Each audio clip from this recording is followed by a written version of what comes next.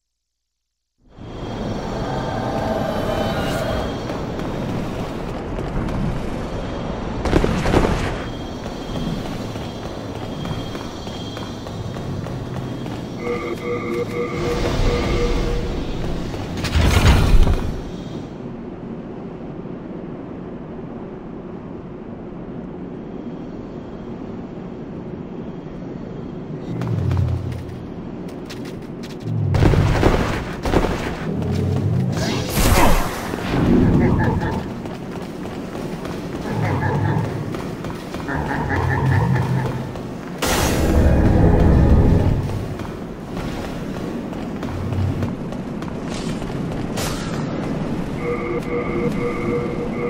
you.